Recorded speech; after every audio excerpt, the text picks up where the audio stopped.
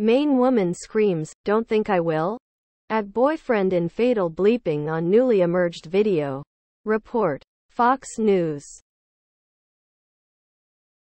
A Maine woman's meltdown was recorded on doorbell camera's microphone after she allegedly shot her B. Oi friend to death at point blank, according to a new report. Below are your comments. Prime example of guns are not toys. If you don't understand how they work, then you shouldn't be playing with them.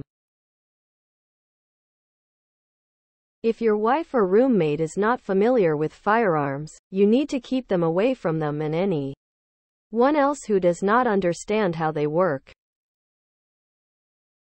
Guns are not toys and deserve a high level of respect and caution.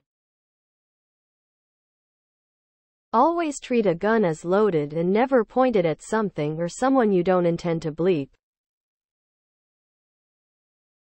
When I was younger, in my early 20s I was at a party where a guy did this to himself.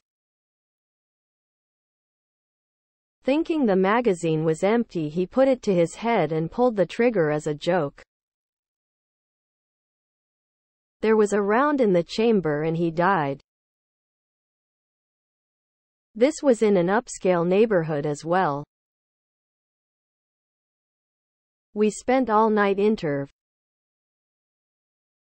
Pranks should never include real weapons. Even if you think the gun is unloaded, never use a real firearm in a prank. If something goes wrong, it won't be just a prank, bro anymore. Please subscribe to my channel. And if you like it, please thumbs up.